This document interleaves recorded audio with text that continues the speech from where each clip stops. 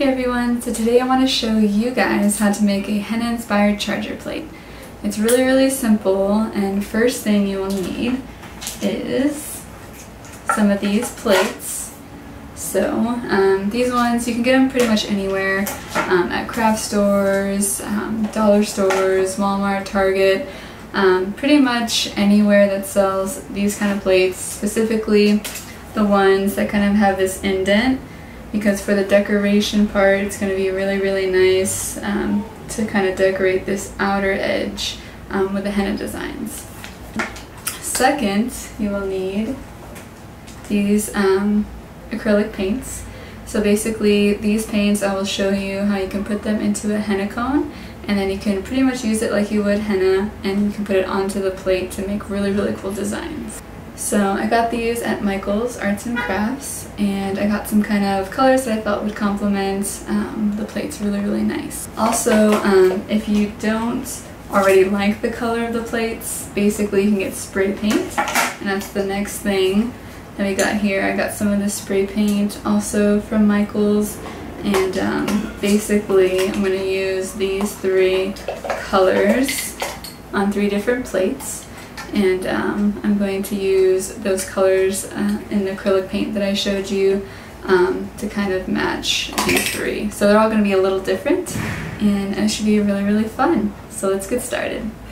Alright, so now it is time to roll the cones that we will be putting the acrylic paint into. So I've already rolled one, but I'm going to go ahead and show you how to roll it. I do have a more in-depth video if you want to check that out, I will try to leave um, a link to my video in the description. But basically, I like to start from the center with like a rectangle piece of cello. And then I just roll on the inside like this until I have the kind of size that I want.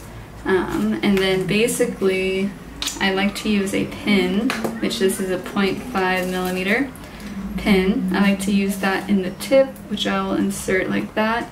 And I go into the inside of the cone while I'm holding uh, this top part and I kind of pull downwards so that the cello is nice and firm around the pin.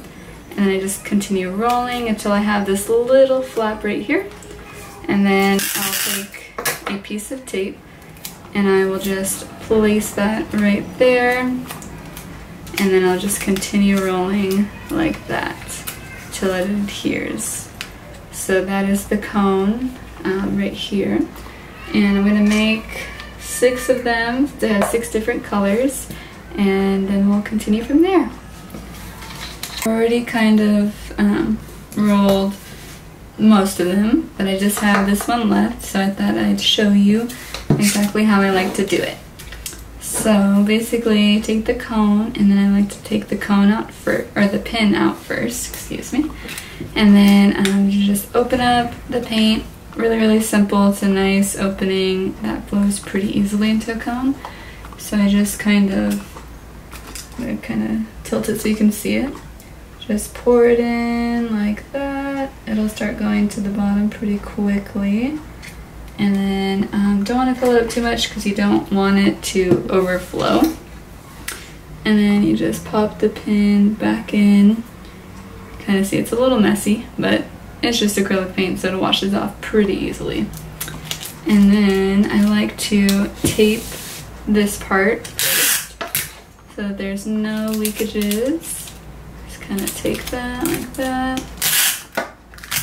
Do another one paint is a little different than henna. The consistency, somewhat similar, but it's a little bit easier to roll a henna cone, I think. Less messy. So, and then I just kind of roll it like that. And I just seal it up. Oh, this one was really messy.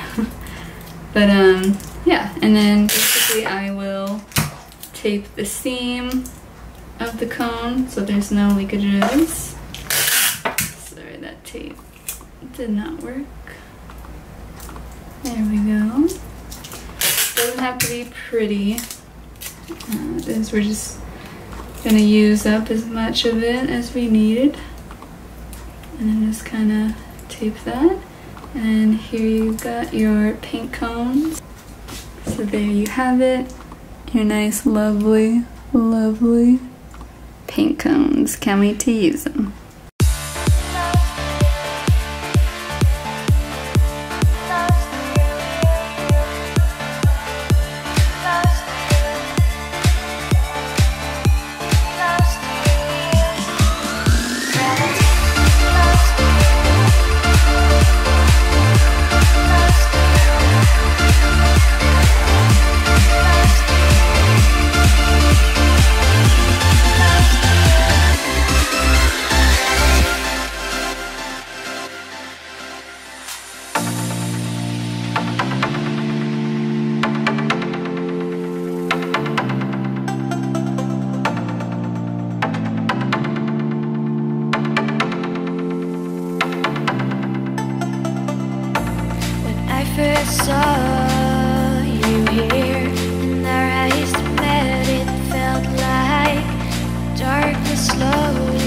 Disappeared shine a light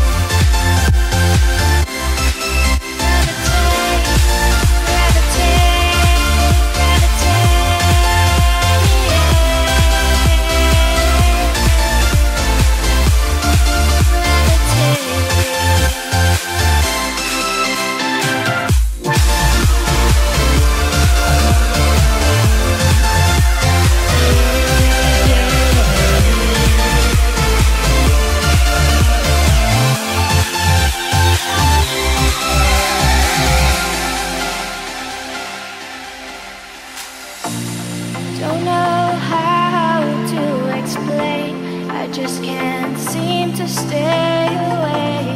You are the sunshine to